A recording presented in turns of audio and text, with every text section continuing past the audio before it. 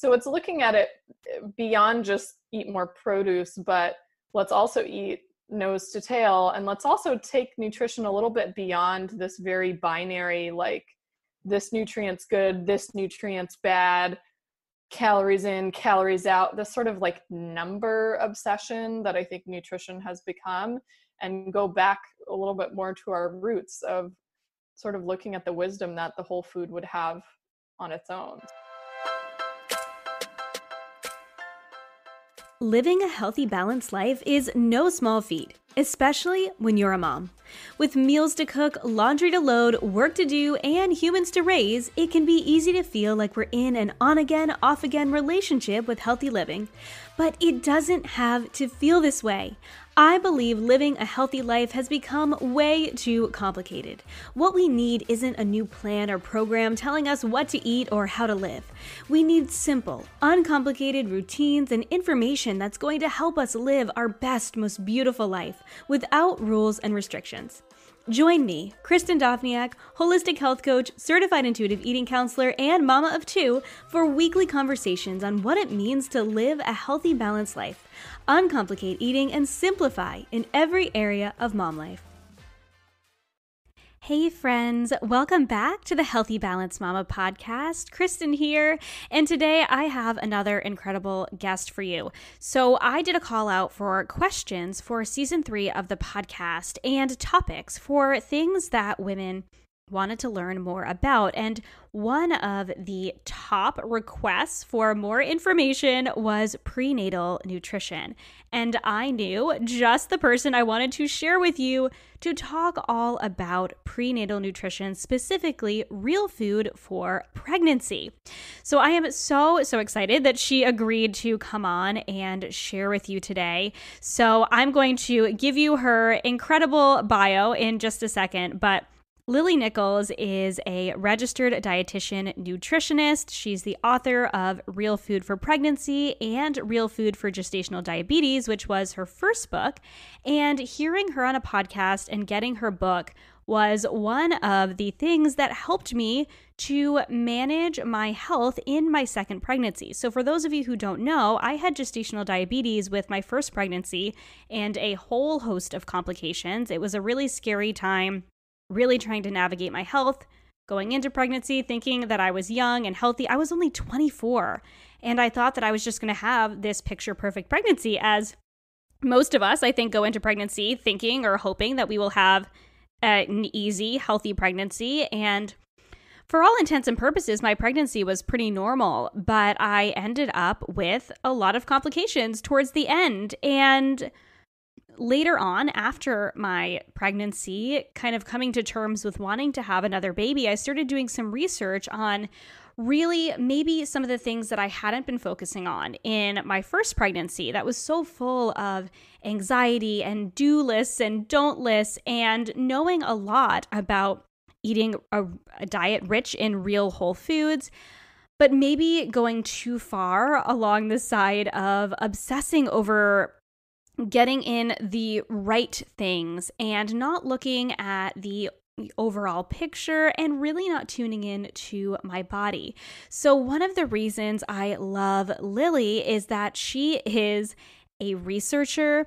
She is not afraid to debunk the myths and the gaps that are in our conventional advice when it comes to pregnancy, when it comes to uh, not just pregnancy, but also gestational diabetes and really get into the research and really share with women what is really ultimately important when it comes to what they need for a healthy pregnancy for them and for baby's development. But she does it in a really practical, doable way, as you'll hear in the interview. She doesn't recommend things like tracking and measuring and counting and obsessing over your food, but simple strategies for balancing your blood sugar, getting in more nutrients. She talks about some of the nutrients that are not emphasized enough. We talk about fear foods during pregnancy and how, you know, we don't need to fear foods in the way that a lot of us have during pregnancy. We did dig into gestational diabetes. We talked about mindful eating during pregnancy, we talked about specifics for how women can go about, you know, making simple changes for having a healthier pregnancy, specific nutrient needs. We could have talked for 3 hours. It this interview was so packed with practical, tangible information for you, and we had a lot of fun talking about it as well. So I think you're really going to enjoy this episode. So, for those of you who don't yet know her, Lily Nichols is a registered dietitian nutritionist, certified diabetes educator, researcher, and author with a passion for evidence based prenatal nutrition. Drawing from the current scientific literature and wisdom of traditional cultures, her work is known for being research focused, thorough, and sensible. Her best selling book, Real Food for Gestational Diabetes, and online course of the same name presents a revolutionary, nutrient dense, lower carb approach for managing gestational diabetes. Her work has not only helped tens of thousands of women manage their gestational diabetes, most without the need for blood sugar lowering medication, but has also influenced nutrition policies internationally. Lily's clinical experience and extensive background in prenatal nutrition have made her a highly sought after consultant and speaker in the field. Lily's second book, Real Food for Pregnancy, is an evidence based look at the gap between conventional prenatal nutrition guidelines and what's optimal for mother and baby. With over 930 citations, this is the most comprehensive text on prenatal nutrition to date.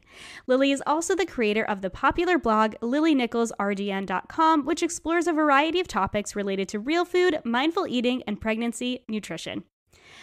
Friends, you are going to love this interview, whether you are in the phase of thinking about having a baby, or you're pregnant now, or you're thinking about having a second baby, this is going to be jam packed with information. I know you're going to love it. So, without further ado, here is my interview with Lily. Hi, Lily. Welcome to the Healthy Balance Mama podcast. I am so excited to have you on. Thank you for having me. Happy to be here. So I love starting with just a fun little icebreaker. I know we've been chatting for a couple minutes, but I love to ask my guests, what is the first thing you drink when you wake up in the morning? Oh, well, absolutely first thing, probably some water. But mm. then after that, I'm I'm a tea person, not a coffee mm. person. No offense to anyone who's a coffee person, but next thing would be um, a cup of black tea. Nice.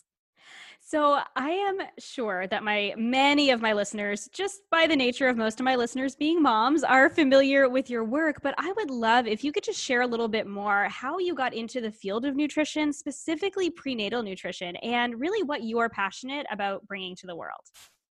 Sure. So, I actually got into nutrition at a pretty young age. So, by the time I was in high school, I knew I wanted to study nutrition and I didn't change my mind how I ended up going into the prenatal side of things was actually a little bit by accident. So I had finished my schooling, finished my internship, had been a registered dietitian for a bit, and had the opportunity to work with the California Diabetes and Pregnancy Program, which is also called Sweet Success.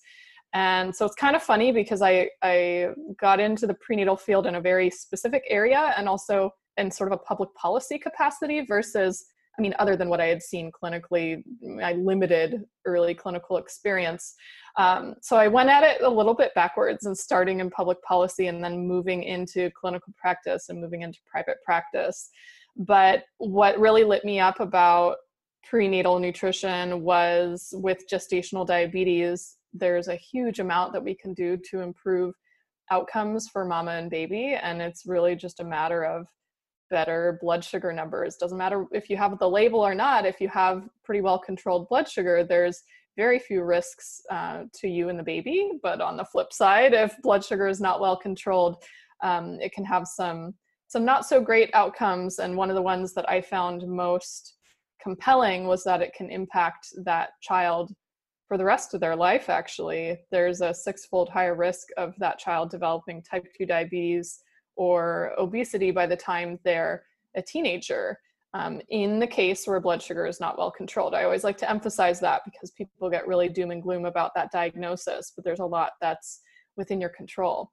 So from there, uh, working in clinical practice, I saw, you know, oh my word, using the guidelines that I had worked on uh, didn't actually improve outcomes in many cases. A lot of my clients' blood sugars were getting worse. And so that's what led me to uh, look for an alternative and come up with um, basically what I outline in Real Food for Gestational Diabetes, my first book.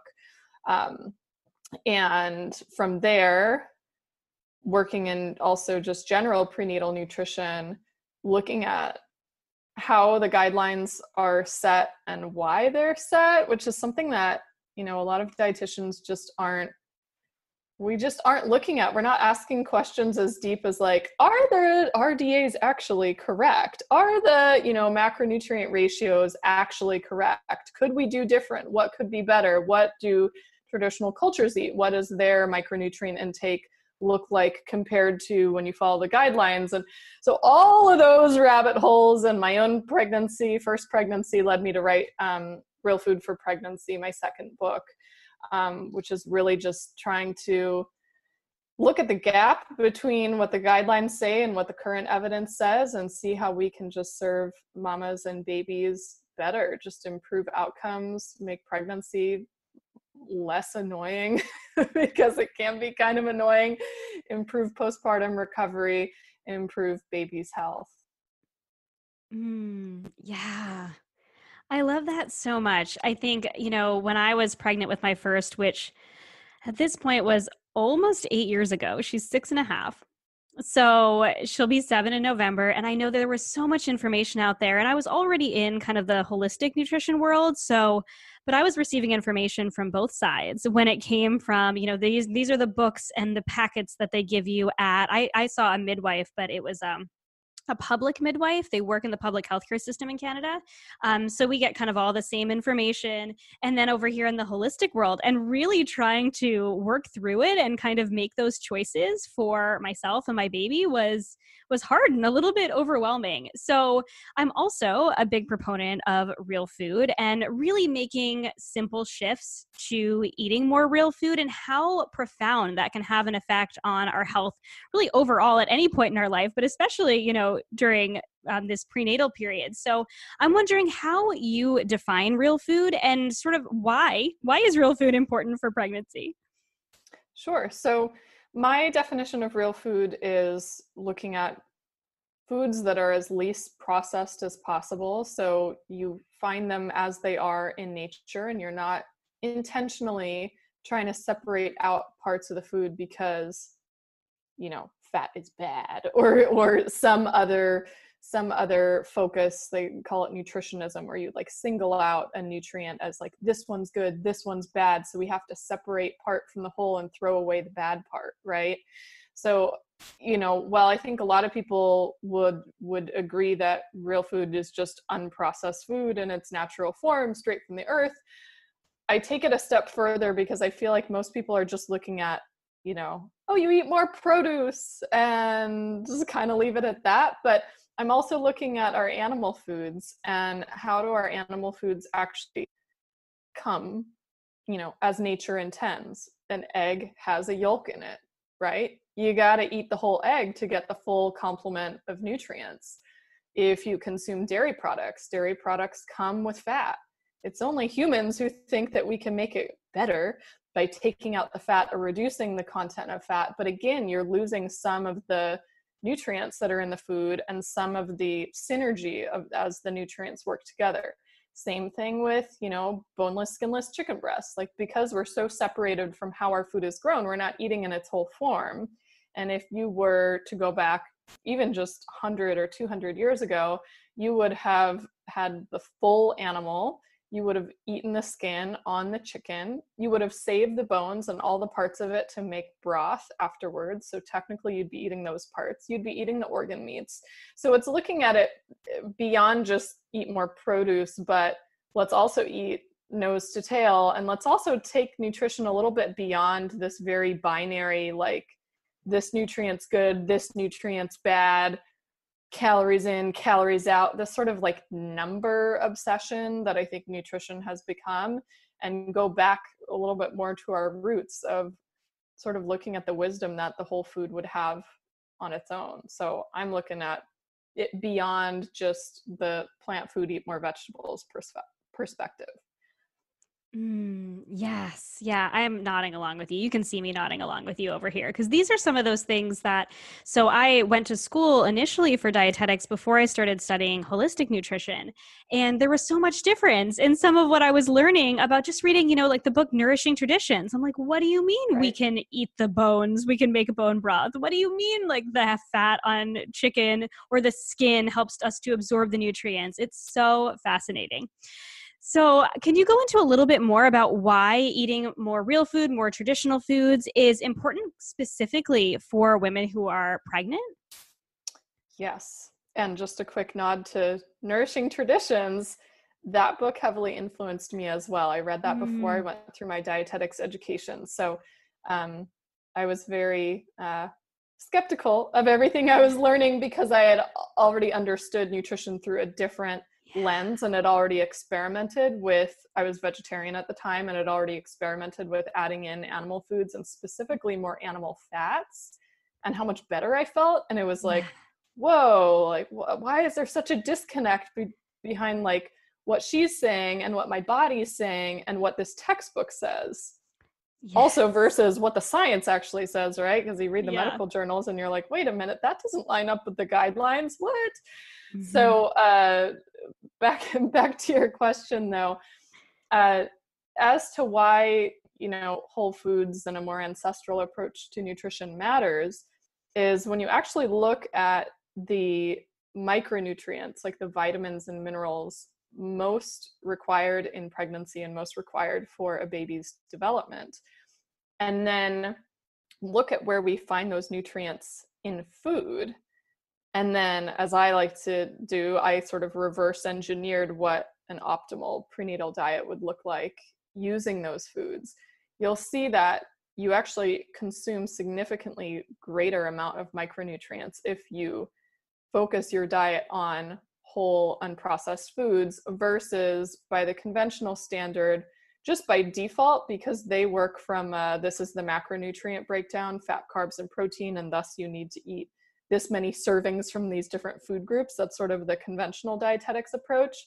Uh, you're eating 45 to 65% of your calories from carbohydrates, and carbohydrate foods just are not the ones that are most concentrated in some of these hard to get nutrients like vitamin B12 or iron or zinc or you know you can list on and on a number of nutrients that are just either not found or not very concentrated in our carbohydrate foods therefore you end up with a more nutrient deficient diet. And their sort of workaround is that they emphasize fortified foods. So you know our white flour is fortified with folic acid and it's fortified with iron. Doesn't matter that those forms of those nutrients aren't the same as what's found in real food and aren't as well utilized by the body but you know they're fortified so it's fine. Just eat half your grains whole. The rest can be refined white flour that's been fortified with some of these nutrients. And i'm more like wait a minute. Okay if we need more of these nutrients why don't we go direct to the food source instead of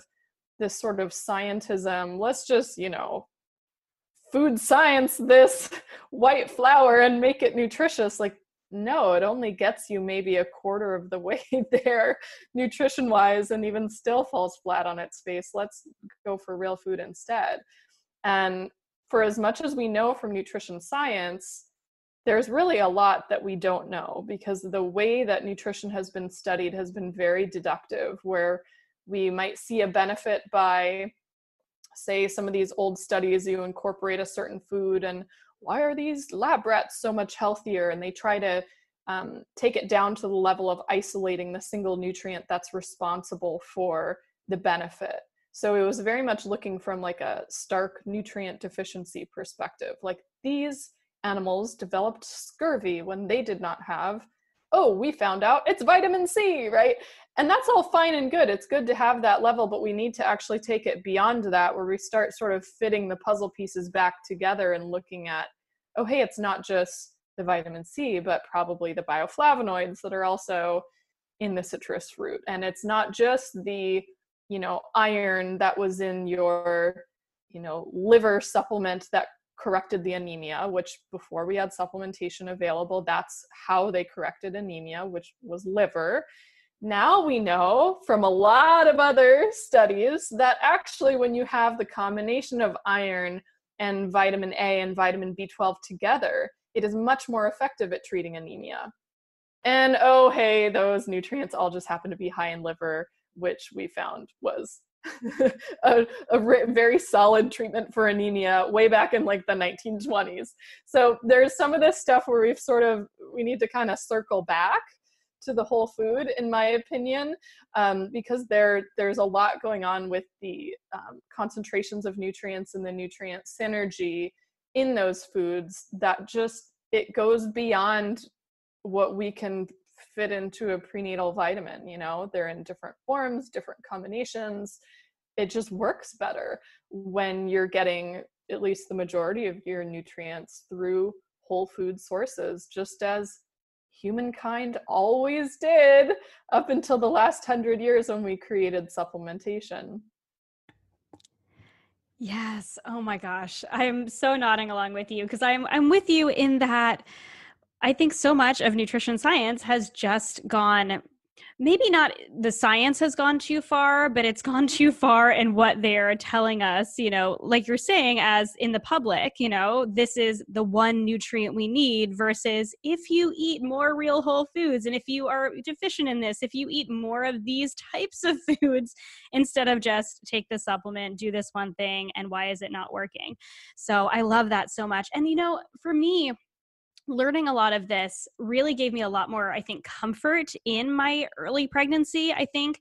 And I mean, being a first time pregnant woman, I was anxious and being someone who's naturally a bit anxious too. I was anxious for a lot of reasons. And I think a lot of pregnant women are just making sure I was getting enough. But I think knowing that you can get a lot of what you need through food and it, it can be easier than they tell you i think sometimes in conventional yes. nutrition when you are eating more real whole foods. So I love that so much. So, one of the things that I really love about your work and something that you're not afraid to do is really debunk a lot of the myths and these gaps that there are around prenatal nutrition. So, and oh my gosh, something I read on your on your website and I loved this and it was mind-blowing is that it takes an average of 17 years for research to make it into practice, which is crazy. That is way too long. And that means that we are basically 17 years behind in the recommendations or the conventional recommendations. So I'm wondering what you would identify as maybe the biggest gaps in the world of conventional prenatal nutrition. There are a lot to choose from. So, you know, and by the way, that 17 years is from a study actually, and they they were talking about clinical practice. So that's not even guidelines. Mm. Guidelines take even longer to get updated. Yeah. So just just keep that in mind. oh and then you gosh. hope the people who are on the guidelines committee are actually willing to look at some of that evidence. So that's a whole nother rabbit hole.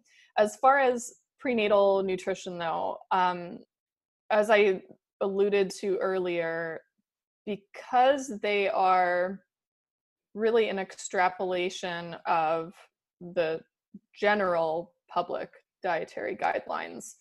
Until the general public dietary guidelines shift, I'm, I'm not sure we're going to see big shifts in the prenatal guidelines as well, but I will point out some holes.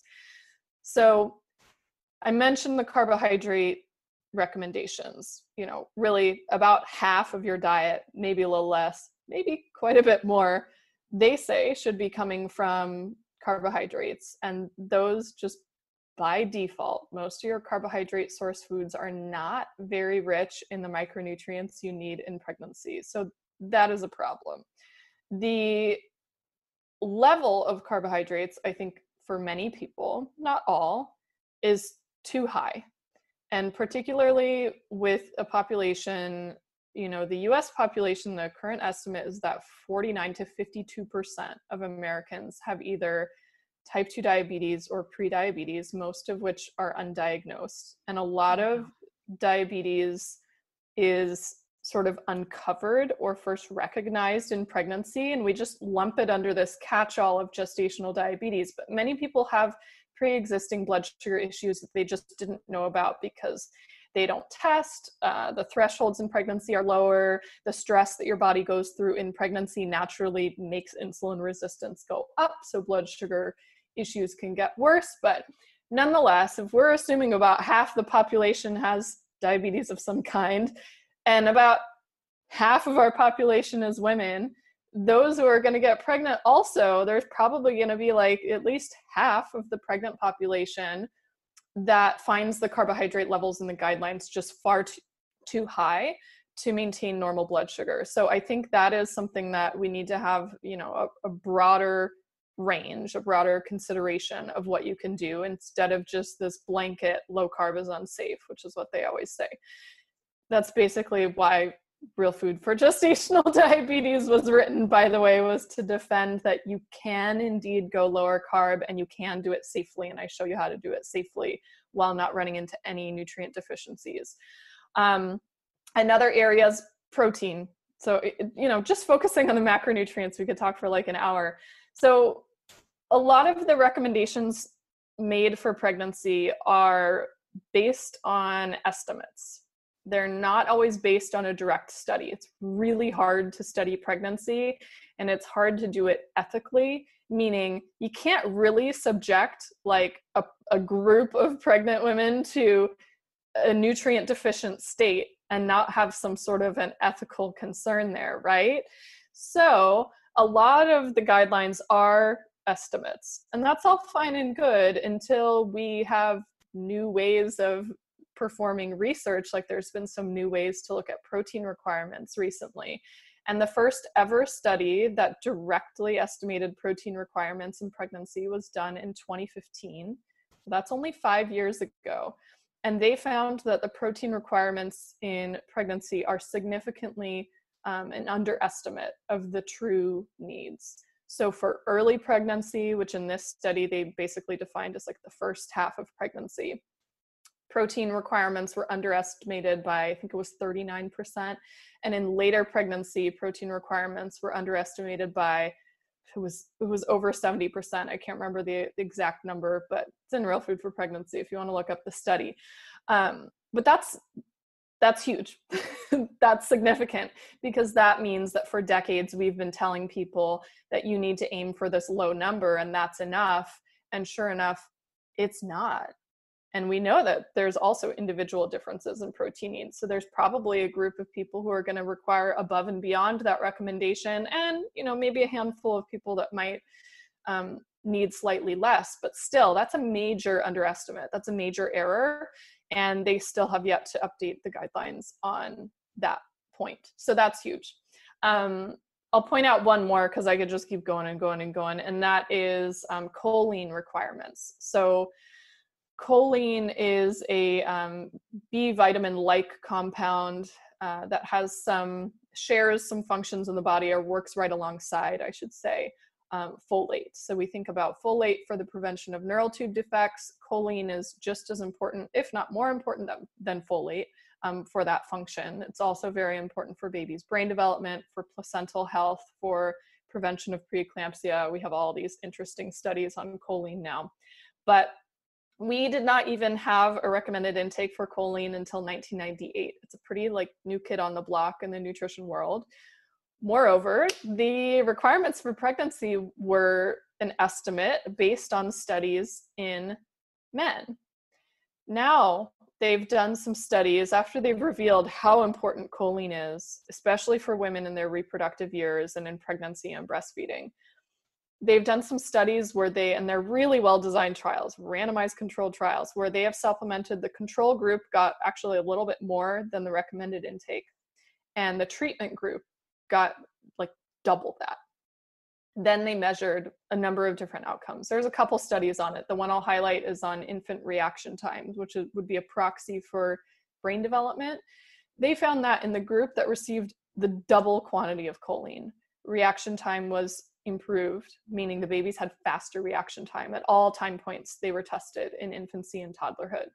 So this is significant because A, the choline requirements for pregnancy are probably an underestimate. They're probably wrong, but already 94% of pregnant women do not even meet the current low recommended intake. And what happens if we actually get people to meet that intake? Well, it just so happens that choline is most concentrated in animal foods, especially high cholesterol animal foods, egg yolks and liver being some of the main ones. So if we're still all so obsessed with keeping saturated fat and cholesterol intake as low as possible because somebody somewhere deemed them as evil nutrients at one point in time, we're guaranteeing choline deficiency and thus actually guaranteeing maybe not guaranteeing that might be a strong one but we're pushing this pregnancy outcome this child's life trajectory towards impaired brain development i mean really the studies are these are strong words and so people listening will be like "What?" you know but i'm serious like when i every time i say something i'm like in my head thinking of multiple site research citations that actually go along to back what i'm saying the research on choline and brain development is unequivocal. And if you don't include, for example, eggs in your diet with the yolks, which is where the choline is, your chance of being deficient in choline is like doubled. Right. So if we're, you know, basing our recommendations on this top down, you can't have fat, you can't have saturated fat, but then it's creating nutrient deficiencies on the back end, we're in trouble and it's not just choline. You can list off you know a whole laundry list of nutrients that happen to be deficient if you start getting super nitpicky on the saturated fat and cholesterol. So suffice to say a lot of our nutrition requirements for pregnancy nutrition recommendations i should should say for pregnancy really need to be flipped on their head if we want to try to really make a dent in preventing micronutrient deficiencies and then all the carryover negative effects that that can have on pregnancy outcomes, postpartum recovery, baby's development, nutrient transfer into breast milk, and on and on and on and on. Oh my gosh. I'm over here. I was muted for a second because they were doing yard work next door to me and i'm like no they need to hear this information. I'm nodding along with you and going oh my gosh there's so much of that that i didn't even realize. And i know a lot of the i know the importance of choline but i don't think i knew how important it was. And i know it was one of those things where i was like oh yeah during my pregnancy i'm going to make sure i eat a lot of eggs. And it's really funny because my first pregnancy i was i was not into eggs at all and i kind of had to almost force myself to eat them because i knew that they were they were one important source of nutrients. My second pregnancy, I craved them the whole time, ah, which was interesting and I just I ate a ton of them. So I'm curious, sort of with all of this, you know, I know you said you could go on. I'm sure you could go on for hours, and they'll just have to go pick up your book to read more of the research when it comes to kind of those big gaps. But I'm wondering, the woman listening who is a little overwhelmed, she's like, okay, I don't have to eat so many carbs. I need to eat more protein. Oh my gosh, choline. Do you have some, maybe some practical advice for, you know, other than simply, you know, like you said, eating more real food, but also looking more to the kind kind of the traditional food side of things, do you have any practical recommendations for the woman who might be on her way to becoming pregnant, you know, in that, you know, trying to conceive phase or in her maybe early pregnancy who wants to try and get some more of these um, nutrients or some more of the nutrients that you think are most important in? Where do you think she should start? Sure. Yeah, I can get into the weeds, but we can also make things really simple. Um, I will point out for people who are like really early pregnancy, a lot of people are going to be experiencing food aversions and nausea. And so that's a that really is a very tricky time to be like i'm gonna really up my nutrition and eat all these eggs and green leafy vegetables so you know really give yourself a ton of grace in the first trimester um, don't don't freak out if you're listening to this and you're you're early on and not able to eat all the foods i'm going to be talking about if you go all the way back to preconception, that's like, of course, the most optimal time to begin incorporating some of the real food because you can build up your nutrient stores uh, ahead of time before any of the nausea and food aversions hit. But don't freak out if you if you didn't do that ahead of time.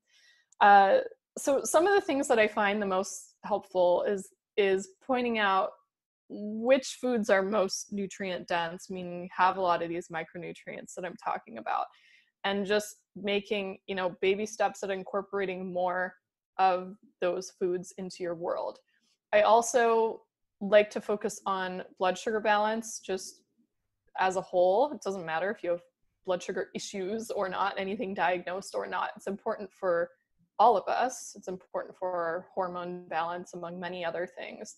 Um, but also our hunger, fullness cues, cravings, all that has at least some tie back to our blood sugar balance. So if we look at those two things, I like to focus on people a not being afraid of fat um, from you know unprocessed real food sources, and b trying to prioritize protein. Now protein in nature usually automatically comes packaged with fat. So if you focus on getting more protein in your diet and you're not obsessively taking the fat out of that protein, meaning you're not cutting the fat off your steak, you're not taking the skin off your chicken, you're not taking the yolks out of your eggs, a lot of things kind of take care of themselves because our protein foods are by default if they're unprocessed real food sources really rich in micronutrients as well the other nice thing about our protein foods is they stabilize our blood sugar quite a bit. So it's very satiating, it's filling. So that means that your carryover effect later in the day is you won't have a blood sugar spike and crash usually after eating a meal that has a significant amount of protein or just enough. I should just say enough protein for you. You'll be full for a couple hours, your blood sugar won't tank, and by the time you're ready to eat again, you it'll be less likely that you have intense cravings for some type of processed junk food that isn't filling up your nutrient stores, right? Because it all ties back into your blood sugar balance. So it's a bit of a two birds with one stone situation. And I know there are some people who are, you know, into intermittent fasting and that's fine, but I find that many people if you fix breakfast or whenever the first meal of their day is, that sets the stage for your blood sugar balance, your cravings, and whatever for the rest of the day. So that means if you prioritize getting enough protein at your first meal of the day, which for most people is breakfast, watch the carryover effects later on. So, examples of this in real food terms. Instead of having oatmeal and fruit and brown sugar for breakfast, which is all carbs, which is going to give you a blood sugar roller coaster and make you be pretty hungry pretty soon. And you'll probably be craving like sugar and caffeine mid morning as a pick me up. Try having eggs with vegetables or sausage with vegetables or eggs and sausage and vegetables or some kind of dinner that you had left over from the night before that included a you know a hearty source of protein or um, greek yogurt or cottage cheese which are high protein um, types of dairy with some nuts and maybe a little bit of fruit for the flavor maybe some berries which are especially low sugar. And just observe how you feel within the hour two or three after that meal and observe what kinds of foods you're craving at lunchtime and dinner time. Just make note. Um, but by having something that has more protein it'll be it's almost always a significant difference. This is like the thing that i've been telling clients basically my entire career as a dietitian and you make this one change and people think you're some sort of a miracle worker. And i'll tell you as a person who's you know been at, least attempting to eat well for for as long as I've been interested in nutrition, I still will make exceptions some days and be like, oh, I'm gonna have, I think I will have oatmeal. Oh, what's the harm in having a pastry for breakfast? Or, you know, fruit sounds good. I'll just have a piece of fruit for breakfast. And then, man, the way you feel the rest of the day is totally thrown off and that's fine it's actually good to have some of these experiments thrown in here and there but really truly listen to your body and get back to what keeps me feeling well and a lot of times you'll have your answer if you just listen Yes. Oh my gosh. And I'm, you know, nodding along again with, you know, it's when we listen to our bodies and when we make just simple changes and notice what actually feels good, it is way less complicated, I think, sometimes than we make it out to be. And I think we keep coming back to that, right? Like there's a lot of research that hasn't come into play where it might need to. But then when you really look at what it actually takes to meet these needs, a lot of it is less complicated if we only had the right things in place. So I love that simple recommendation for eating more protein, but specifically starting the day with more protein to set you up for better blood sugar that's something I learned years ago, and it really has made a significant difference in my own life as well. And it's so different now being where I am in my own health journey. And I know, um, you know, probably many of the women listening, but if the woman listening is has not heard this before who doesn't understand anything about blood sugar traditional american breakfast is like you know oatmeal and banana or cereal and milk or just grab a piece of toast on the way out the door but what a profound difference you could make if even if you just added some eggs to that toast or you just had some exactly. eggs instead. And so I love that so much. Simple but really effective. So that's so great. So I want to kind of talk a little bit about the some of the recommendations that I think kind of bring up a lot of fear in women when it comes to pregnancy because I know that um, I already shared that I was very anxious the beginning of my first pregnancy, just being a new mom, wanting to do everything right. And I think I was very focused on the don't eat list, that I got so focused on the things that I shouldn't eat that, you know, then I was trying to add in the things I should, and it drove me crazy. so I'm wondering, you know, if there are maybe any differences or differing recommendations that you would have versus the research when it comes to like this long list of don'ts, or do you have a list of, or is there any way maybe we can simplify the do eat versus the don't eat list? Sure. Yeah. So I, I think your experience is um, very common. I saw this all the time in practice where one of the first questions that comes up is, What can't I eat? So there's this fear that if you mess up, you're going to like mess up the whole pregnancy and it's going to be dangerous. So I think, first of all, people need to understand where the of foods to avoid or do not eat list come from and how strong or not strong the recommendations are for those foods. So, most of the foods on the do not eat list and by the way this varies by country which is fascinating but at least in the in the US and most of the west it is for food safety reasons primarily they want to avoid you getting food poisoning really um, with salmonella or listeria or some other type of bacteria that could make you sick. And so they, you know, put a whole list together of foods that might contain those problematic pathogenic bacteria and then tell you not to eat them. There's also the concerns about mercury, would be like the second thing that I think comes into play. And so there are specifics on the type of fish um, that you would want to avoid, perhaps. And by the way, those would be like swordfish, king mackerel, shark, and tilefish are on the do not eat list by the FDA. And they also recommend limiting tuna to less than six ounces per week.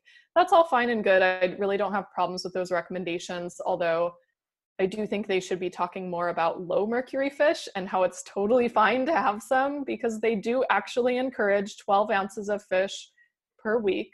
Um, I think you can do even more than that, but 12 ounces is a minimum. I mean, that is that is actually rare that I see a client who's getting 12 ounces of fish per week, and that's even by the very stringent FDA guidelines. They're still recommending 12 ounces, right? So you're like, it's okay for you to have fish. Um, you know, salmon, sardines, um, cod, um, shrimp, oysters, clams. Like these are these are good sources of nutrients. In fact, they're one of the types of foods that I really highly recommend, especially if you're going to attempt to meet your omega three and selenium and iodine needs from food alone. That's you got to eat some seafood. Mm-hmm. Back to the food safety side of things, though um, what I find kind of frustrating about those lists is that they, in my opinion, really overblow the actual risk of food poisoning from those particular foods. So, with um, eggs with runny yolks, for example, you can't eat eggs with runny yolks, right? Well, undercooked eggs, gonna get salmonella. But when you look at the chances that an egg might contain salmonella. It's anywhere from 1 in 12,000 to 1 in 30,000 eggs. Very rare. Sevenfold lower rate if those chickens were raised on, in an organic operation or on pasture because healthier hens are less likely to harbor pathogenic bacteria. Just like us humans, when we eat better food, our gut health and our microbiome is better, right? Um, eggs as a whole in the US account for only 2% of foodborne illness outbreaks nationwide. 46% of foodborne illness outbreaks are from produce, primarily fruit and leafy green vegetables. Hmm. But fruit and leafy green vegetables do not show up on the do not eat list. So I just play devil's advocate because ultimately it comes down to we literally can never guarantee any food is safe or unsafe. And in my opinion, I think it's arbitrary what has made it on the do not eat list or the AOK list. When you go to other countries, they have no problem with you eating fish, even sushi in many places. That includes the UK. It's not just parts of Asia. Um, but they'll have a, a warning about raw salads and raw fruit. So, you know, some countries are, I think, in many ways a little more ahead of the US, but I think instead of coming up with this lengthy list of this food is always unsafe, we should instead be educating on common like just basic food safety practices which a lot of people aren't doing so the way you store and prepare your foods, the establishments that you purchase food from, proper reheating, proper hand washing and cleanliness in the kitchen. Um, and yeah, there's, of course, there's going to be foods that are more likely to make you sick. I mean, you should be, of course, always careful when you're handling raw meat and cleaning up your kitchen after handling meat. I mean, to the degree that, you know, I find a lot of people aren't you know, you open up a package of meat and you start seasoning it, touching all your seasoning containers with your dirty raw meat hands. You know, it's like, well, that should be something we're educating on instead of educating on if you eat a turkey sandwich because it's deli meat turkey, like you're to get listeria. Like, no, the chances that the the the estimated rates of listeriosis from deli meat is I think one in eighty three thousand servings of deli meat. It's very very slim. So I just play devil's advocate, and and I think we just need to be, you know. Uh, more common sense and more instructive about um, the the relative risks of getting sick and then on the flip side, I think also discussing the possible risks of ending up with nutrient deficiencies if you take those lists all the way to the letter. Because I know quite a few people who take it to the degree that I'm not going to have any fish because it could have some mercury. Well, you've basically guaranteed some nutrient deficiencies unless you're really diligently supplementing with numerous things. Um, or, oh, eggs, they might give me salmonella. I'm not going to eat eggs whatsoever you know then you have a guaranteed choline issue almost so you know i just think we need to have a more nuanced conversation about this among many many other topics yeah. Oh, I love that common sense approach. And I'm over here like shuddering about the meat with the salt and the all that. I used to be um, a personal chef.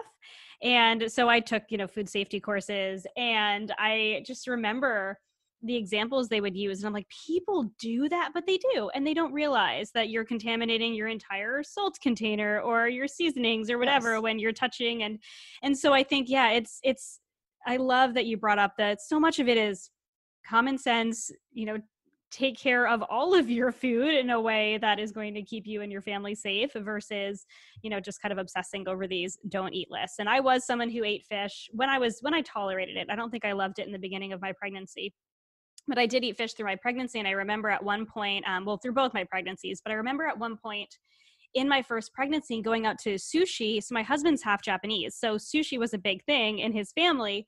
And we went out to sushi and I was like, oh, I want fish so bad. And my husband's like, I wanted raw fish. And my husband's like, why don't you just eat it? And I'm like, you're not supposed to. I could get sick. And he's like, wouldn't everyone at the table get sick? And I'm like, yeah, but I'm pregnant. And he's like, I'm pretty sure Japanese ladies weren't stopping eating raw fish. And I was like, that's true. I'm like, just because their recommendations, and you know, when they're handling it well, it's not just picking up a piece of raw fish from the supermarket and chomping down on it. It's they're getting it super fresh and prepared well. Yep. And I mean, it's a personal choice, I know, for everyone and their own comfort level and and all of that. Um, and I can't even tell you if I ended up eating it or not. I cannot remember. I do remember eating swordfish once during my second pregnancy and being a little bit nervous, but it was the special at one of our favorite restaurants and it was our anniversary. And I'm like, okay, if I eat one swordfish steak, my whole pregnancy, I think I'm going to be okay. oh, you're fine. Yeah. And a lot of this stuff really is about, you know, consistency and frequency of exposure, right? So, you know, if we think of like the tuna example, I think it's kind of like the FDA is throwing tuna a bit of a bone because they know how common and available the fish is for people since so many people eat canned tuna that they're like, okay, six ounces. But there's some people who take the information on tuna and they're like, I'm not going to eat it whatsoever. But having a mm. single serving of a fish that might be higher in mercury is like, I mean, add it to the list of potential exposures to things that can be harmful. I mean, we're surrounded by it, right? So you have to kind of, yeah. you know, you have to make your choices and and you know do the best with with what's available and also live a little because you know another thing on the flip side of the do not eat list is they're really not emphasizing very strongly don't have sugar mm-hmm. but the adverse effects from excessive sugar intake in pregnancy are very well documented and very significant and that's not something that people think about um, it's like well eggs are unsafe so for breakfast i'm going to have this cereal which is sweetened with a whole bunch of sugar and they don't think anything about that right so yes. i think we just need to again just look beyond um, sort of the basic pamphlet that so many of us get from our providers. Hmm. Yeah. Oh, I love that so much, and I love that you are educating on that as well. So I really like your your common sense approach to all of that. So, something else I really love about your approach is that you do really focus on a mindful approach to food versus this just kind of counting and tracking calories and macros. And so, and I know this is different if you have certain health conditions uh, in some sense of things. Um, I am very much on the camp of not tracking, measuring, or counting anything. so I'm wondering if you can encourage the pregnant mom who's listening, who's worried about getting what she needs without obsessing over it. You know, the extra caloric needs, or these this amount, like you know, this many grams or that many grams.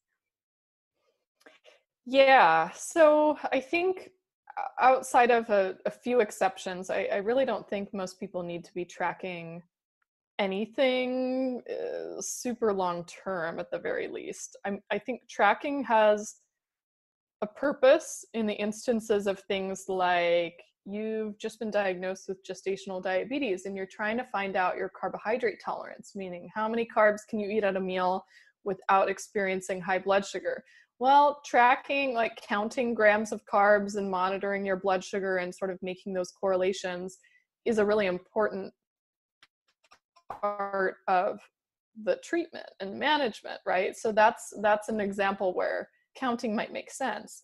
Or maybe you read something about choline and you're like, man, I want to see how much choline I'm getting. That might be one of those short term experiments where you can be like, how much am I getting in my usual diet versus how much do I need?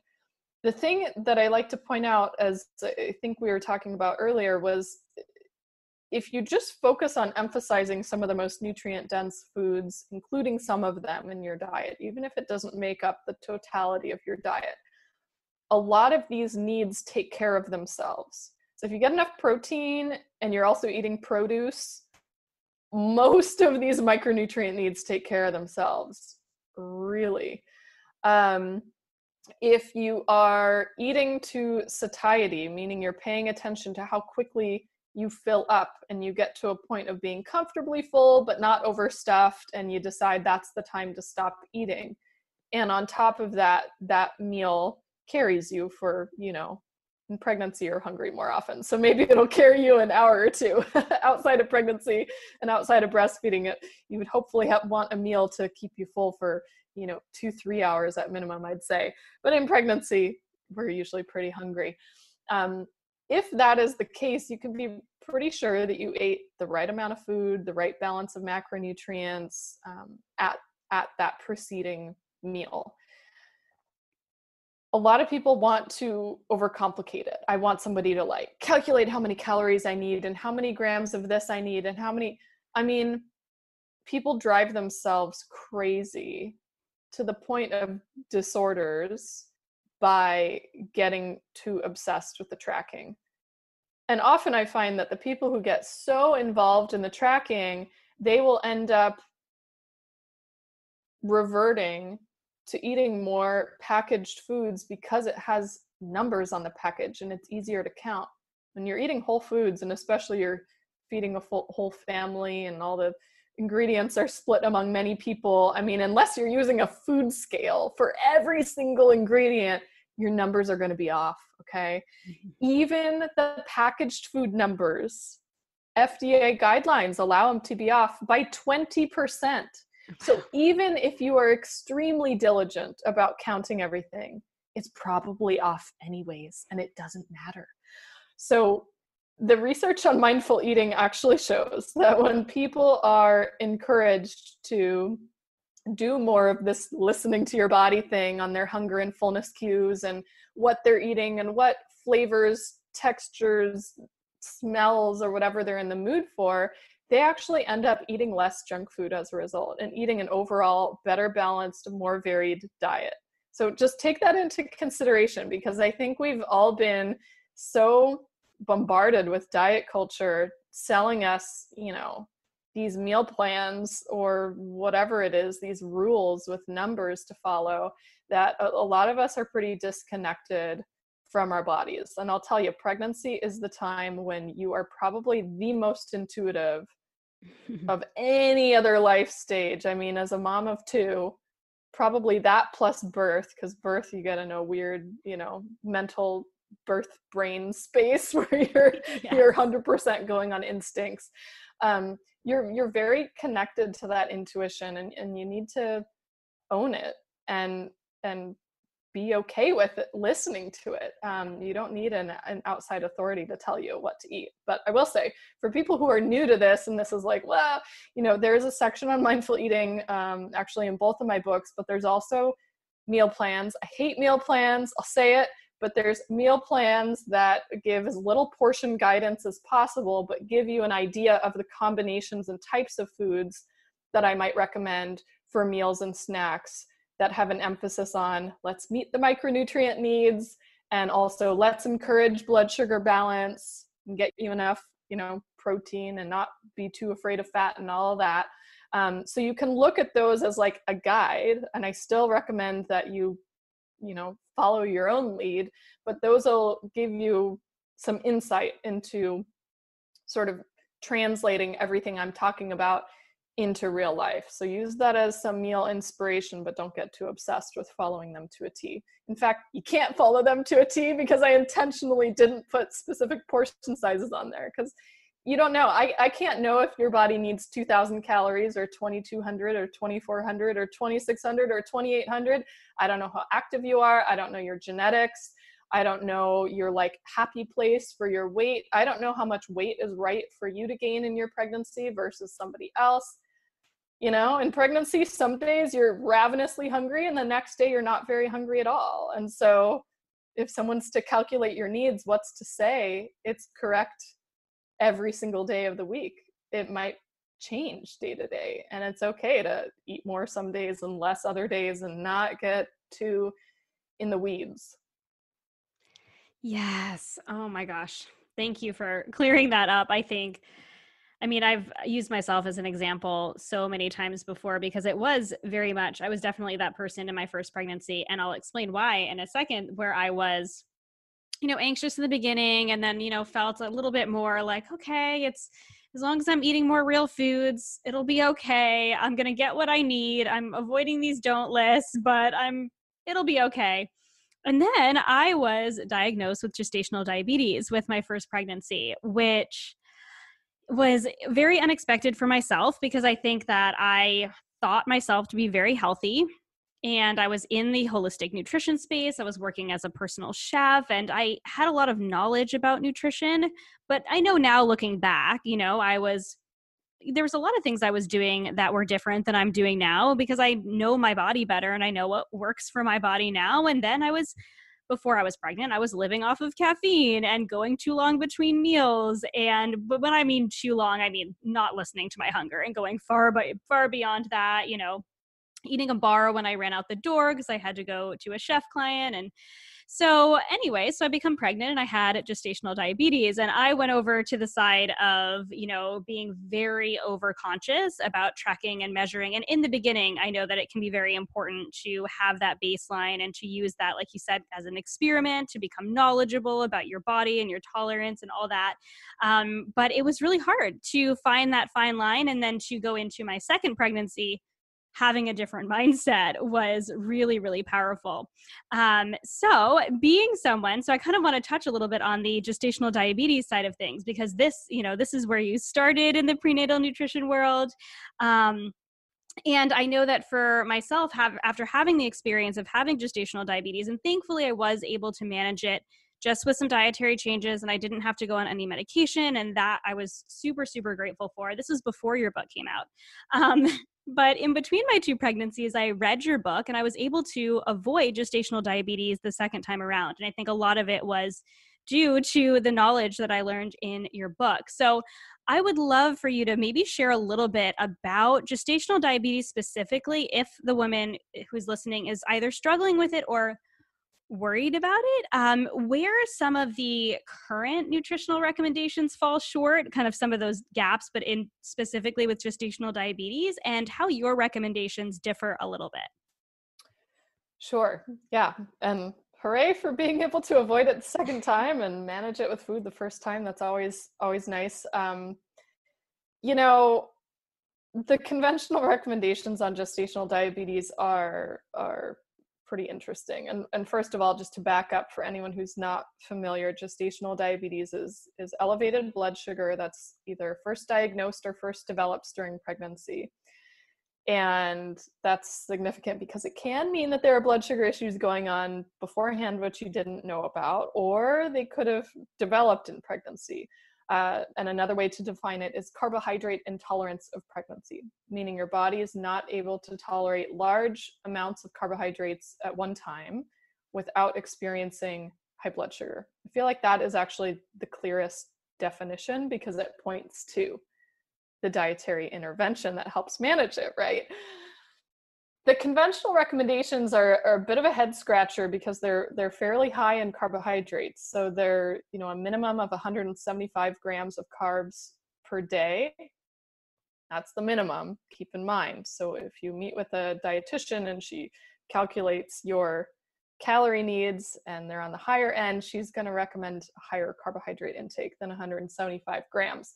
Now, that's a bit perplexing when you think about the way that gestational diabetes is diagnosed, which is often with a glucose tolerance test. So they give you a super sweet glucose drink, which is pure sugar, and then watch your blood sugar afterwards. And those depends where you are in the world or what state you're in or what practice you're going to, but the glucose tests range anywhere from 50 to 100 grams of glucose then you get a meal plan that has around 50, maybe more, grams of glucose, grams of carbohydrates. But most of your carbohydrates are going to eventually break down into glucose in your body at every meal.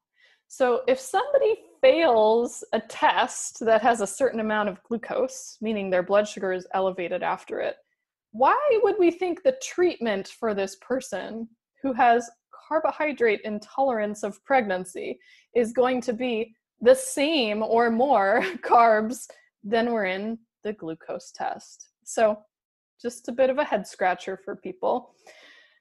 I found in practice that that level of carbohydrates was often too high.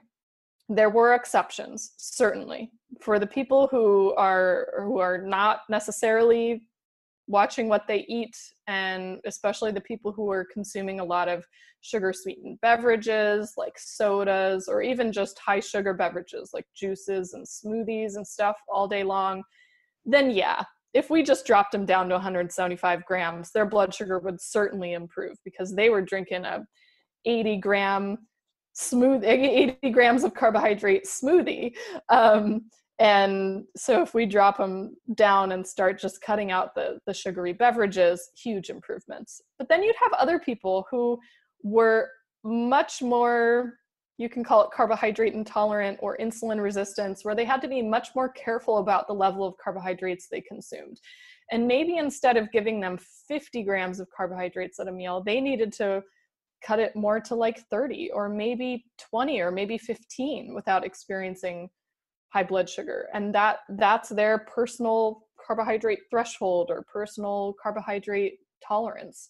Um, and so for for me, I found that the conventional guidelines really stressed people out a lot and, and didn't work in in many many people because if you're putting forward a very carb heavy diet yeah they recommend protein but they're very strict on fat because anything from the conventional guidelines is strict on fat they would have elevated blood sugar after the meal and then they'd be confused because they followed the meal plan, but then also they'd be starving before it was the next time to eat because the meal was too low in fat and they just had a huge blood sugar roller coaster. When you change it up and give them enough protein, don't restrict their fat, and have them self identify the level of carbohydrates their body can handle, they would eat until satiety. They would have good blood sugar levels and they would generally stay full before it was the next time to have a snack or a meal. A lot of things figured themselves out, and gestational diabetes became much less scary. Because I tell you, the quickest way to freak somebody out is to give them here is the treatment for this this pregnancy complication that we've just scared the bejesus out of you right because we've listed all the complications that are going to happen ah like be scared scared enough to follow this meal plan here's this meal plan lo and behold, you have high blood sugar after eating the meal plan, and then you really start freaking out. Because mm-hmm. then you're like, oh no, I'm doing a terrible job of this. Why isn't the meal plan? It's not your fault. You were given information that doesn't actually adequately treat the condition. It's a mismatch for, for the condition that your body is facing. And so when you instead present them with information that they do have wiggle room for going lower carb. First of all, you don't recommend as high a carb as a get go. Um, but they also are noticing, hey, my blood sugar is great after this meal. Hey, I felt satisfied. Hey, I'm still able to eat yummy food. It's much less scary. The stress goes away. It's easier to manage. It's, but it's very, very common that people, you know, don't get the best of advice. Um, at first they're already scared because the first week or two with gestational diabetes is scary when you don't have like a baseline you've never been pricking your finger to check your blood sugar before it, it feels very scary but once you sort of settle into a routine and the end of the first week second week and you've been given advice that's actually working it's a very empowering experience. And and that's the side of things that i think doesn't get enough airtime is that it can be really empowering to start understanding how food affects your blood sugar and your mood and your hunger and fullness cues and satiety. It can be really empowering to notice like oh hey when i eat this way the scale isn't like skyrocketing up like it was before when i was just eating you know the usual stuff and all the smoothies and the juice and the you know bread and all the crackers and whatnot um, you feel more balanced and more in control. So there there can be a silver lining with gestational diabetes. Hmm. Yes. Oh my gosh. I'm really glad you touched on that mismatch. Um, I remember going in and you know working with the dietitian and the first week i went in i think i had to go every week into the hospital and meet with a dietitian and give her like my my glucose numbers and then she would compare them to my food journal. And I remember her going through and going, okay, so you're eating enough vegetables and you're eating enough protein, but you're not quite eating enough carbs. and I was like, well, my numbers are good. I was having some issues with my numbers in the morning. Um, and that was really just solved with having a snack at nighttime that worked for my body and it was a, like a little bit of a snack with some carbs and some fat and that kind of evened me out there and that was a couple weeks before i figured that out and thankfully my numbers always stayed but she made that comment a couple times when i would come in where it was like, but you're not having enough carbs. And then I, the next week, I tried to add in more carbs because I was like, okay, I don't want to hurt my baby. My whole thing was, I don't want to hurt my baby. Mm-hmm. And then my numbers were off. And mm-hmm. I'm like, I'm so sorry, these two numbers were off. And she's like, that's okay. It's normal to have a few of your numbers off. Um, you know, just keep doing what you're doing. And, you know, I adjusted things a little bit. My numbers were fine the next week, and it, the comment comes again. So it's so interesting that these are the recommendations. And, you know, I think it's important to point out that everybody is different and we all have a different tolerance and we all need a different yep. amount. Um, but for me, I was trying in the beginning to do what felt right for my body and follow, you know, kind of the lower recommendations because I'm, I'm not a huge person. I'm only five feet tall. And so I was like, oh, I'll kind of follow these recommendations. And then her going, no, this isn't enough. And then my like crazy brain went, oh my gosh, I gotta fix things. And that's right, where I got right. very obsessive with like, oh my gosh, okay, I'm, i need to have X amount of grams at every single right. meal, whether or not it made my numbers off. So right, and then to have the experience where it works at some meals and then not uh, not others. I mean, it makes you start feeling like a crazy person. Where we could just help you have like more stable blood sugar numbers with fewer carbs, and you wouldn't have to freak out every meal you'd know like okay if i'm gonna have some carbs i can get away with one piece of bread at a meal but i probably can't have fruit with the meal. Great but the meal plan the dietitian gave you has bread and fruit and if you don't have the bread and fruit the sky is to fall. I mean it's just very silly and I, I, will say you know as a as a good dietitian i did my due diligence to follow the guidelines and teach from the guidelines at the beginning and it was failing my clients it became an issue in my opinion of professional ethics to continue providing information that was not working mm-hmm. and after getting more into micronutrients providing a micronutrient deficient diet that is not adequate for pregnancy or to just let people self select to eat less bread or less rice or less tortillas or which wasn't even providing that many micronutrients for them from the get-go right? Mm-hmm. you're eating more vegetables instead of an extra serving of rice? That should be a net benefit but here we freak out. And i could go into all the reasons they that they freak out but that would open another can of worms for probably another hour talking about ketones and stuff. But suffice to say it is absolutely safe to eat within your own carbohydrate tolerance. You don't have to go full keto or anything, but you certainly don't need to just for the sake of matching what the meal plan says. Eat your, you know, piece of bread plus your fruit plus your fill in the carbohydrate of choice in order to comply with something that clearly isn't working for your body, right?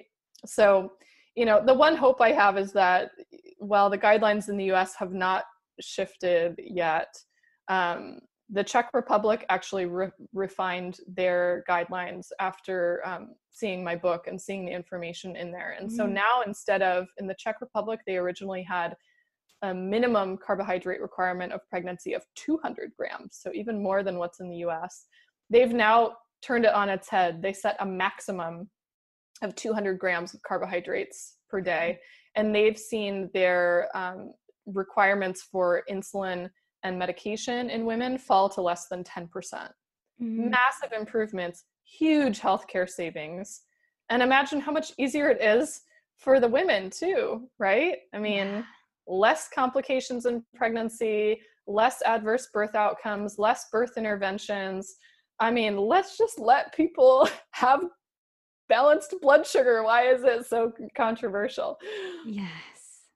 Oh my gosh. Yes. I know it shouldn't be so controversial to allow people to find their own tolerance and listen to their own bodies instead of feeling like they need to meet this number, which right. is it's a disempowering experience. That, what you described is what I've heard over and over again. And it was hearing that over and over again that made me go, okay, I'm going to write a book on this because I certainly can't see every client myself, and people are not getting good advice. You know, this mm-hmm. is like making everybody stressed out and have unnecessarily high blood sugar. No, we gotta we gotta shift this. Yes. Yeah. And I think as someone who has read your book and, you know, followed a lot of your recommendations in the early stages of my second pregnancy, and really a lot of it was, um, you know, I went through this a whole journey in between my two pregnancies of finding my own balance when it came to nutrition in general. And it was really coming back to this place where I'm like, oh, right. My body responds really well to real whole foods and when I listen to it. Huh. and, you know, that I think a lot of your advice yeah. is very easy to adopt it's practical it's not something that's going to drive someone crazy like oh my gosh i need to make all these changes. Just like you're talking about it's it's a lot more you know geared towards these this is what we need this is how to you know learn what's right for you and this is why we don't necessarily need to follow these recommendations. We can listen to our bodies and follow what our bodies need. So i think that um, you did a Absolutely. good job of making it feel doable. Good good to hear yeah. So um, I want to honor your time. We have been talking for so long, and I could literally talk to you for hours and hours on this subject. I find it so fascinating. Uh, we're all done having kiddos, but I love the topic of prenatal nutrition. I think it's so fascinating because it is so important. It's such an important time not just in our lives but in the lives of our kiddos as well and our you know our, yep. our kids who are growing and we can really give them a better start you know by having a really nutrient dense diet but it doesn't also you know coming back to it doesn't need to be overwhelming to do that for for our kids. Um, and we can have a less stressful pregnancy when we just know the basics too. Exactly. So I'm curious from you being a mom of two now, is there anything that you've learned from your own pregnancies that maybe shifted your perspective on some of the advice that you give to pregnant moms?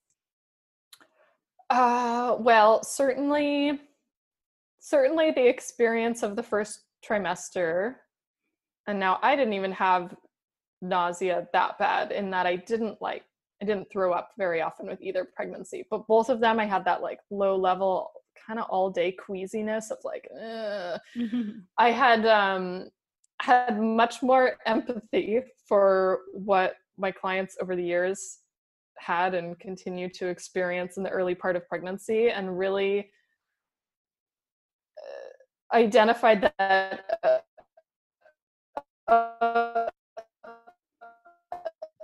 out of anything. I mean, yeah someone but like all things in pregnancy it's not entirely within your control to like stop the nausea. So i knew for example if i tried to get a little bit of protein in, even if I had to like, I don't know, eat something super carby in order to like settle my stomach and then have a couple cashews or then eat like very slowly half of an egg like ugh, i knew that i would feel much better mm-hmm. and so i knew that on the days when i didn't make an attempt at managing the nausea with all the things, I felt significantly worse. But mm-hmm. still, doing all the quote right things didn't eliminate it entirely. So that was a little bit like I definitely came into my first pregnancy thinking, oh, I'm going to avoid.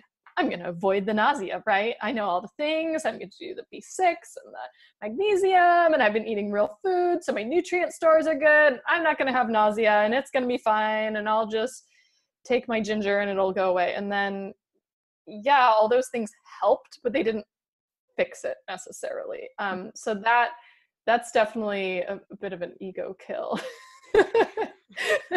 so I think pregnancy really teaches you in in many ways to surrender um, because your body, your hormones, there's a lot of stuff that yes, we can we can make little baby steps towards sort of pushing our own agenda, but we can't necessarily outsmart what's happening and hey there might be a purpose for the nausea anyways which i go into in the book. So it sometimes it's like these symptoms are there for a reason and it's okay. Um i should probably stop there but yeah i just i just developed a lot more grace and empathy and uh, and uh, and you know an appreciation for trusting your intuition in pregnancy um going through it myself Mm, I love that so much. Yeah, it really is a surrender to your body, especially in those, especially in those early weeks, for sure. Yep. So I have a few fun little rapid fire questions that I love to ask all of my guests. But before we dig into those, I would love to know where my listeners can find you and all you have to offer. I know you have some courses along with your books. Yes. So you can find me at lilynicholsrdn.com. I give away the first chapter of Real Food for Pregnancy for free. Um, if you go to the freebies tab, there's a bunch of other freebies, one of which is a free video series on gestational diabetes. If you happen to identify with that, kind of talks you off the ledge. Uh, my website links out to both of my books. Amazon, of course, is usually like the, the best place to get them. They're always on sale and all that. You also have my blog on my website. So, you know, there's 250 plus articles on there. So you can mm-hmm. spend a lot of time reading there for free as far as other places, so um, I also teach professional level webinars on prenatal, postpartum, breastfeeding, and other topics over at the Women's Health Nutrition Academy. So you can look up that. There's a bunch of webinars for myself and some of my colleagues. And as far as social media, I'm most active these days on Instagram and my handle's the same as my website. So it's Lily Nichols RDN. Awesome. Thank you. I am sure if they don't already have your books, they're going to go out and grab your books because they are great and you are so knowledgeable. I appreciate you so much sharing all of your knowledge with us. So, my last three questions I love to ask. I call them rapid fire, but if you want to take longer, you can. Um, so, my first question is What is your favorite thing to cook? That is such a hard one for me to answer because I'm I cook a lot. I mean, I cook every day. I try to make the majority of our family meals, but I my my I'm such a like cook by the seat of my pants person. Mm. I'm not mm. like a recipe person. So I'm like oh, the green beans look good at the store this week. Great. And as I'm shopping, I'm like, oh, the wild salmon's on sale. Great. We'll just have green beans and salmon for dinner and just call it a day. I don't really do a ton of like meal planning and fancy recipes. So I, I can't say there's something I, I kind of see cooking as as a bit of a job that mm. like uh it takes time and it's kind of annoying, but the alternative of buying pre-made food at the grocery store is like overpriced and doesn't taste good and doesn't have good ingredients. And sort of the same thing goes for restaurants as well unless it's a really fancy restaurant. So i kind of just cook whatever. Um, uh, you know some meals that are favorites in our house are um, the grass-fed beef meatloaf. There's a recipe for that in real food for pregnancy. Has hidden liver in it. We didn't talk about liver on the podcast but it's a really our whole family loves it. My toddler devours it. We just roast it all in one sheet pan with vegetables and it's just an easy filling meal that makes enough for leftovers for several extra meals and that's my kind of cooking. Like nutrient dense pretty fast to put together it makes leftovers. I'm a very like utilitarian kind of a cook I love that though. That meatloaf sounds delicious. And it's been a while since I brought any liver into our house. My my oldest would eat it all the time when she was a baby, but my youngest was not as interested. My youngest will eat liverwurst, but we haven't had it in a mm. while. I don't know how liverwurst yeah. would taste in a meatloaf though.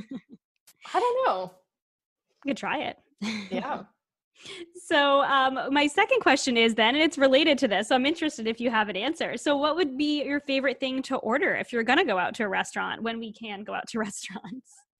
Yeah, right. Um, so, usually, I mean, it depends on the restaurant. If we're just at sort of like a family restaurant, uh, you know, burger joint type thing, I usually just do like a, a lettuce wrapped burger or burger on top of a salad I do order fries. Thank you very much. It's like, yeah, I could do without the bun, but I'm gonna have some fries.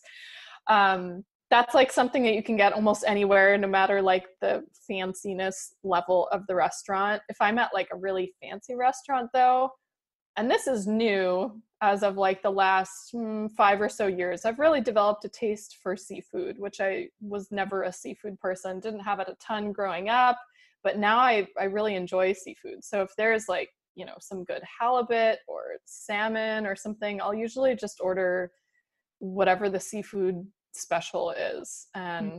and it's so weird saying that because I was never a seafood person until recently.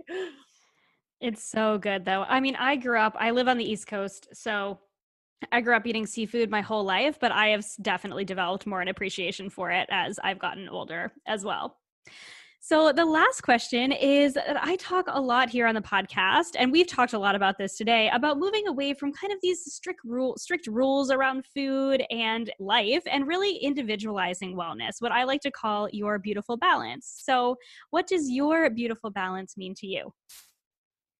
Oh, well, I mean, back to everything we were saying about mindful eating.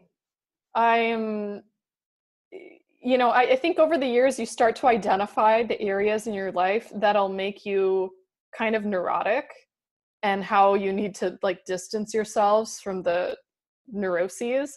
So, you know, way back to my dietetics education, I identified that like, wow, the crazy obsessive tracking of numbers, which we had to do sometimes for class assignments, made me neurotic about food and I don't like the way that makes me feel. So I don't do numbers. I know that if I'm getting like enough protein and getting my vegetables and the vegetables are always cooked in fat or salad is dressed with fat, I'm going to feel good. So I kind of just go with some of these like basic ideas instead of letting the numbers um, push me. Same thing with exercise. Um, early in my career, I did Pilates teacher training and taught Pilates for many years and I know that being in gym culture, but even being in like Pilates studio culture where people are so hyper aware of their bodies and like nitpicking little things like, ah, I just want to get rid of this.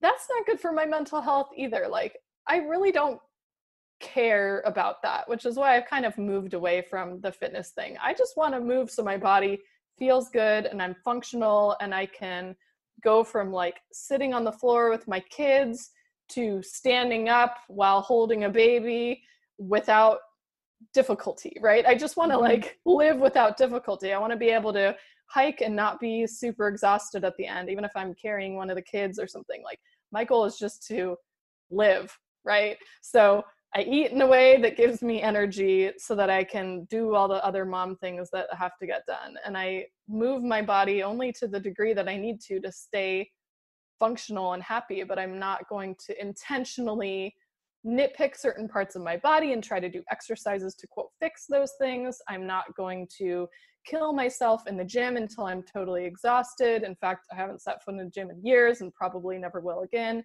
I just want to like move for the joy of moving and being out and about with with the family. So yeah, I'm just kind of anti rules with with a lot of this stuff.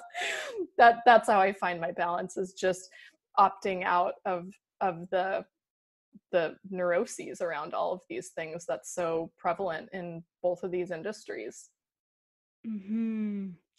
Oh my gosh, I could not love that more, especially coming from someone who is so knowledgeable and gives so much incredible information, but you know, also being like it's okay, we don't need to be neurotic about this. We can we can really be practical about this and do this in a way that is practical and doable and listening to our bodies. So I love that. Oh my gosh, so much incredible information, Lily. Thank you so much. I could definitely continue to talk to you for another two hours. um, well, it hasn't been that long yet, but I could definitely continue to talk to you for so long. So thank you so much for taking the time to be on with us today. Thank you. Great questions, and happy to come on again if you want to. Thank you so much for listening to this episode of the Healthy Balance Mama podcast. If you loved it, would you take a screenshot and share it with a friend over on Instagram and tag me in it? It helps me so much to know what you love and are taking away from each episode. If you really loved it, would you hop over to iTunes and give me a star rating and review? Every rating and review helps this podcast be seen and heard by more women who need to hear the message of balance and wellness without deprivation. It's the best free gift you could give me. And as a reminder, the information and opinions on this podcast are meant for education and inspiration only and are not to be taken as medical advice, diagnosis, or treatment. Please consult with a trusted practitioner before making any changes. Have a beautiful day, friend, and I'll see you in the next episode.